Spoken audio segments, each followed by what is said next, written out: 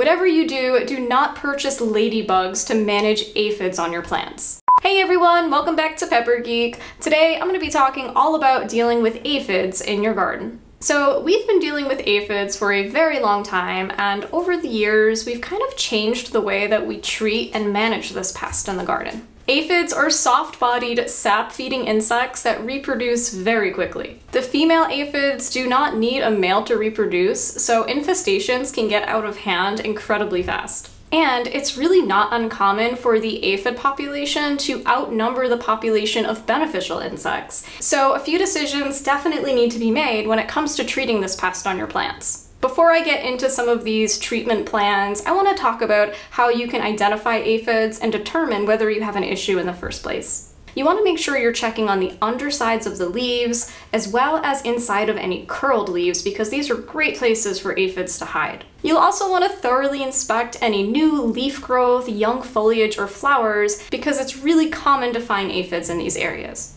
Now, aphids come in many different colors, from green to black to yellow, and some of them are even fuzzy, so this certainly doesn't make it any easier to identify them on your plants. They're typically pear-shaped, and they always have cornicles, which are those two tailpipes protruding from the backside of their body, so if you see those, chances are it's an aphid.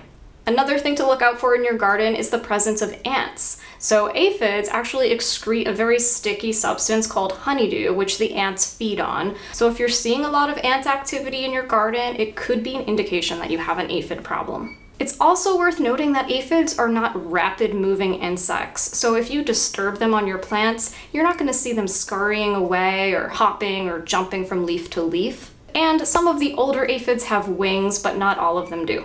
Now, if you've identified that you have an aphid infestation or you're noticing more than just a few of them on your outdoor plants, what can you do about them? The first line of treatment and the number one thing you should always do to control aphids in your garden is to attract beneficial insects.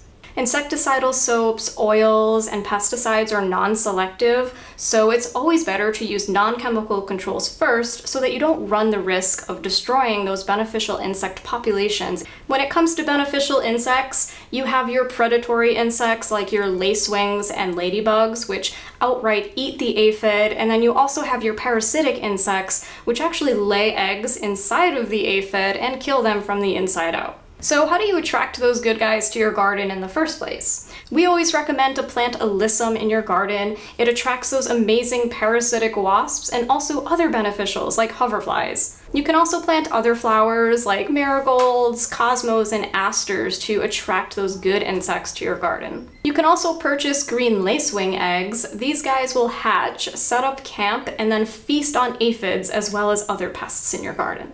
Whatever you do, do not purchase ladybugs to manage aphids on your plants. This is something that we used to recommend and we no longer do it. The problem with this is that they're not native ladybugs, they're vacuumed up from the wild and then brought in, and with them they carry diseases that can threaten your native ladybug populations. Also, it's very expensive. More than half of the ladybugs are just gonna fly away, so you're wasting money by purchasing them. It's a much better option to attract native ladybugs to your garden, and you can do this in many different ways, from planting flowers to having a ladybug house and making sure that they have enough food and water available.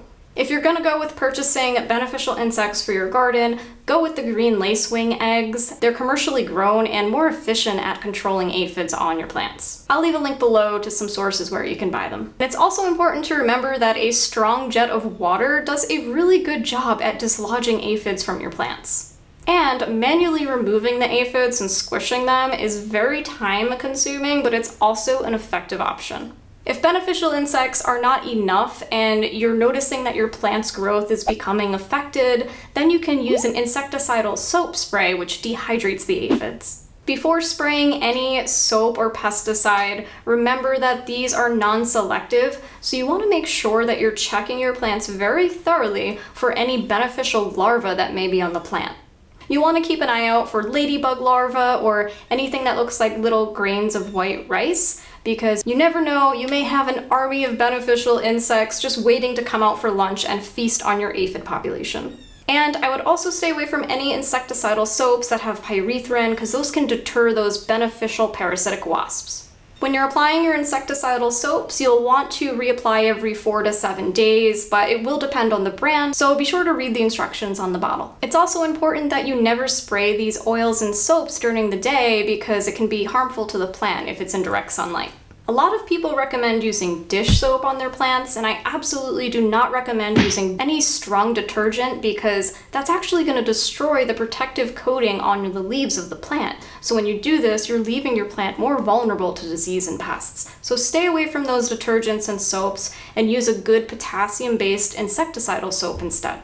And a little tip, there has been some research to show that hard water may impact the effectiveness of some insecticidal soaps. So if you can, use purified water or filtered water from the fridge. I know this may not be feasible if you have a lot of plants in your garden that you're treating, but it is a good idea if you're filling up a smaller spray bottle. If you're not having any luck with insecticidal soap, then you can use neem oil. I'll leave a link below in the description to the neem oil that we recommend, and typically we like to make a good diluted solution of this, and the same rules apply when spraying your plants in the garden.